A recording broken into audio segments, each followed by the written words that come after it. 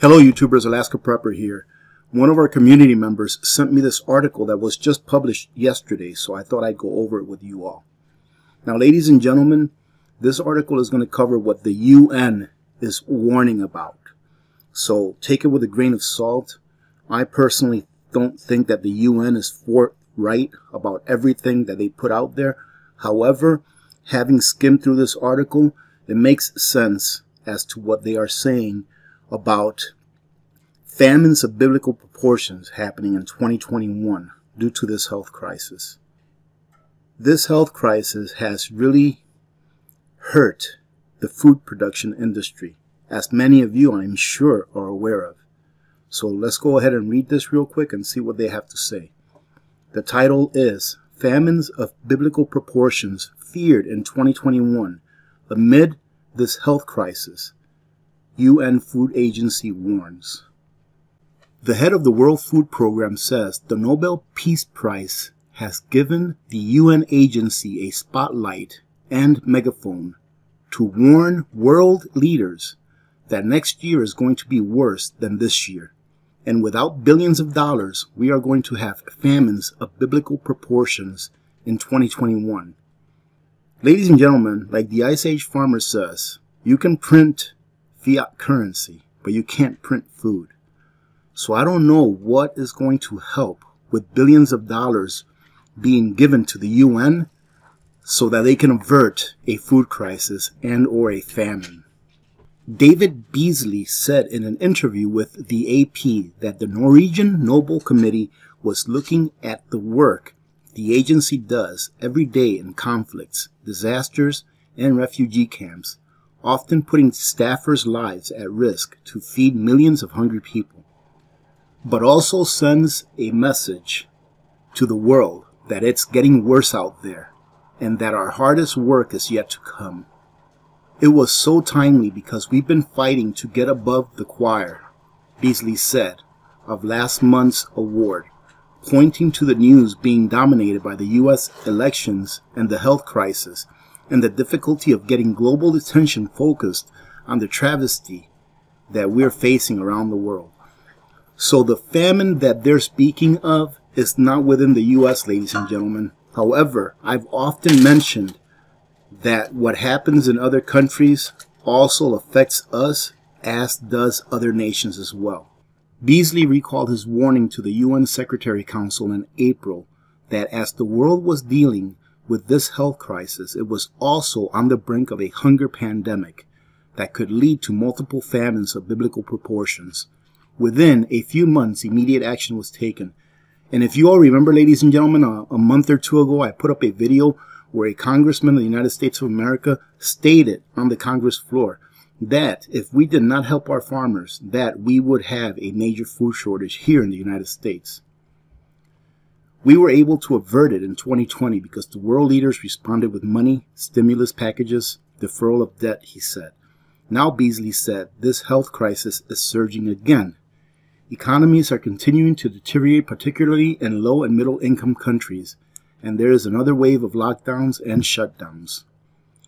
But he said the money that was available in 2020 isn't going to be available in 2021, so he has been using the Nobel to meet leaders virtually and in person to talk to parliaments and give speeches to sensitize those with power to this tragedy that we are facing. Crises that really are going to be extraordinary over the next, who knows, 12 to 18 months. Everybody now wants to meet with Nobel Prize winner, Beasley said, explaining he now gets 45 minutes instead of 15 with leaders and is able to go into depth and explain how bad things are going to be next year and how leaders are going to have to prioritize programs. And the response has really been good, he said. I'm telling them you're not going to have enough money to fund all the projects you historically fund, he said. Those are important things, Beasley said, but he likened the upcoming crisis to the Titanic, saying right now we really need to focus on icebergs, and icebergs are famine, starvation, destabilization, and migration. So I'm sure, ladies and gentlemen, that a lot of the, you know, first world countries are probably wanting to contribute to this because they don't want the third world countries immigrating to their countries because they're starving. And in all actuality, can you really blame someone that's in a third world country who's starving, who wants to go somewhere else? I mean, some people may say yes or no, but a lot of these people don't have a say in what their governments make them do. They are just pawns, as are we. In April, Beasley said 135 million people face crisis levels of hunger or worse. A WFP analysis then showed that this health crisis could push an additional 130 million people to the brink of starvation by the end of 2020. He said in Wednesday's virtual interview from Rome, where WFP is based, that while famine was averted this year, the number of people facing crisis levels of hunger is increasing towards 270 million people. There are about three dozen countries that could possibly enter the famine conditions if we don't have the money we need, Beasley said. Again, ladies and gentlemen, money is not going to fix this problem. Maybe in the short term, but not in the long term. That's my opinion.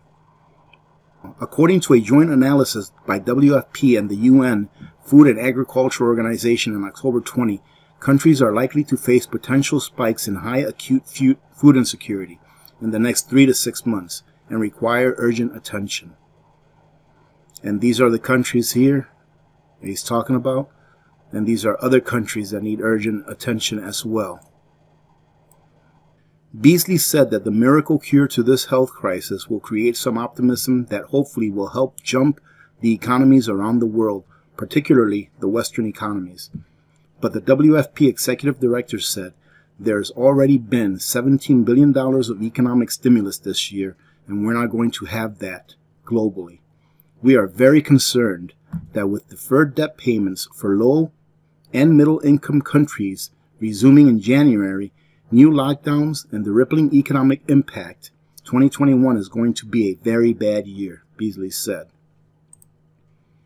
Now, ladies and gentlemen, in reference to all of these problems occurring because of this, I am going to go ahead and be putting up a video on my Patreon page that covers some of this. So if you guys would like to join in on Patreon, you can do it for as little as a dollar a month because there is a lot of information out there that I get from community members and I like to share it in any way that I can. So if you guys uh, would like to jump in there, the link to my Patreon channel is below the description of my video.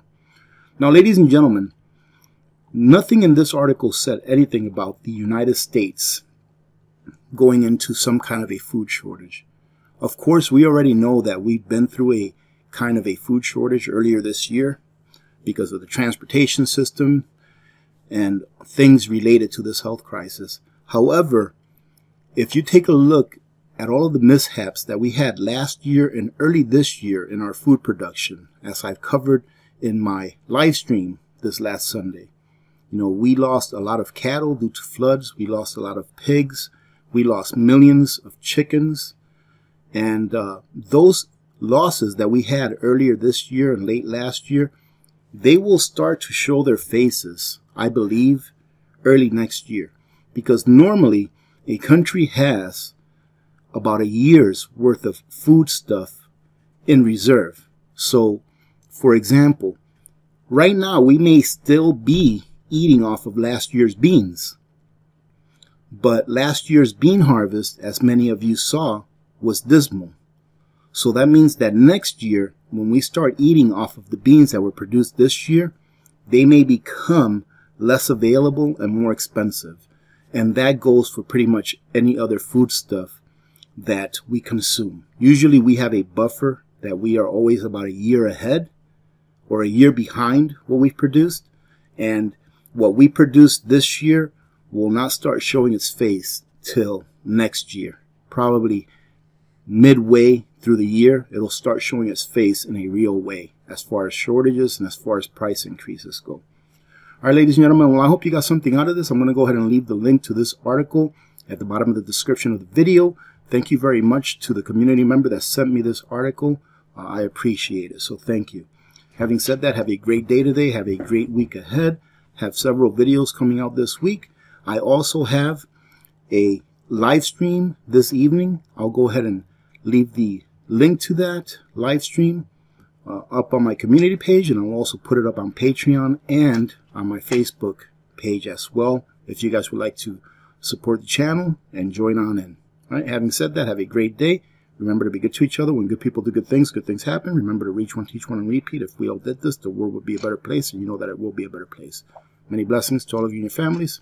This is Alaska Prepper. I'm out.